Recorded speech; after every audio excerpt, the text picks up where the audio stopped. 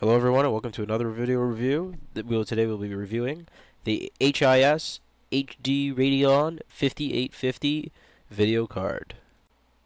The HIS uh, Radeon HD 5850 in the box includes a copy of Dirt 2, a Crossfire bridge, a VGA to DVI dongle, uh, two 6-pin power adapters, so from 6-pin to two Molex connectors, um, a driver's disc and manual and case badge, and the card itself. Um, for uh, just a worded note, the drivers on the disc might be a little old, so I would recommend going to ATI.ca uh, to download the latest drivers. Now, looking at the card, um, looking at the front of the card, you can see they went with a, a dual card slot design. Um, it has a blower style fan.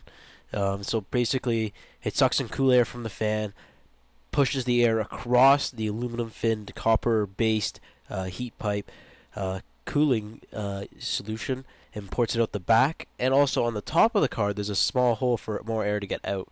Um, now, looking at the back of the card, um, you can see that there's two six-pin power adapters, not a six and an eight. This card doesn't use a lot of power like the 48, like the 5870.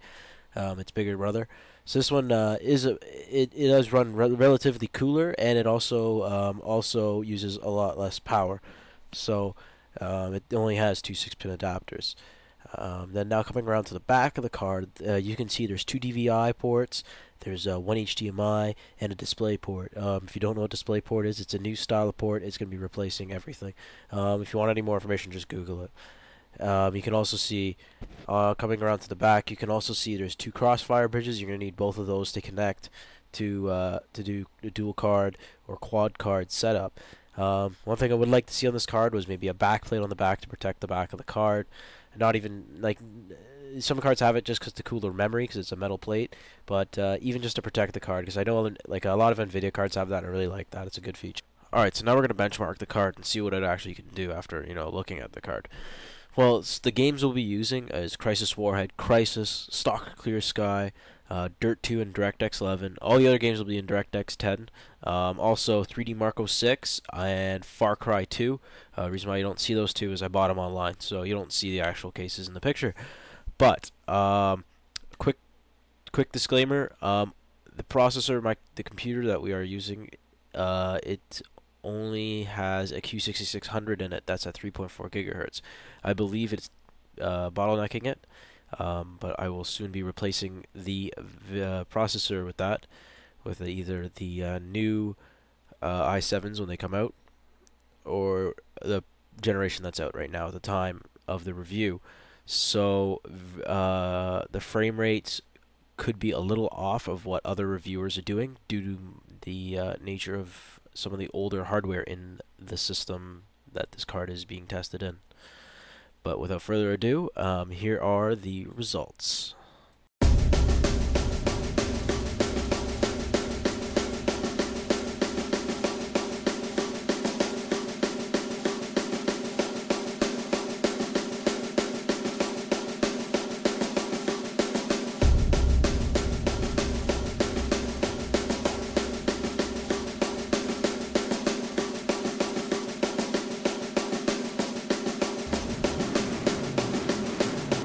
Now, bottlenecking aside, the performance this card puts out is phenomenal.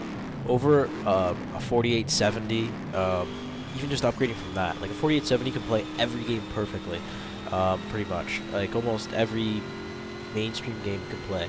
Um, now going to a 5850, it can play everything and then some, like cranking Crysis at full and having two times anti-aliasing on it's just still running at, at perfect 30 frames a second. Like, I've never seen this type of performance before. And if I had a, you know, an i7 coupled with it, the performance would be even better.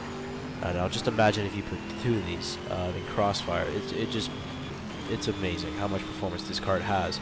And for a price point of $300, you can't go wrong um, if you're looking for an upgrade. So say if you're coming from an older generation like 8800 GT or something like that, this is a perfect upgrade if you're looking in the ballpark to spend around $300. Um, it's a good card. It comes packed with lots of features, and it looks like a Batmobile, so you can't go wrong with that. um, if you are a power conscientious guy, it uses less power than the previous generation ATI cards. It also produces less heat. It, uh, the idle temperature is at 36 degrees um, in my system. Now, on my system, I have a fan blowing directly on the card, and I have a fan that sucks cool air from the front of the case, and it blows air right on the front of the card where it sucks in air. So I have two fans blowing air on the card to keep help keep it cool. So that also helps. Um, another quick tip, uh, if you want to keep the temperatures low on the card, is go in the ATI driver tool and lower and manually set the fan speed to 36% and leave it there. The card will never go past um, I think around it, it, will never overheat. It'll never like go past a, really high temperature. It'll always run cool, and at 36% fan speed, you can barely notice it. Um, once you get speakers and stuff going, you know, fan speed, fan sound doesn't really matter because once you turn up your music or turn on your games, you're not going to hear it. So it doesn't really matter. Um, the fan in the card is actually really quiet, and the, so with that, uh, overall, this is a great card. Uh, great bang for your buck. Uh, I've had 10 to 15% slower than a 48, a 5870. Um, you are getting a great deal. So, without further ado, guys, I will see you next time. And remember to subscribe and rate 5 stars. And have a good one.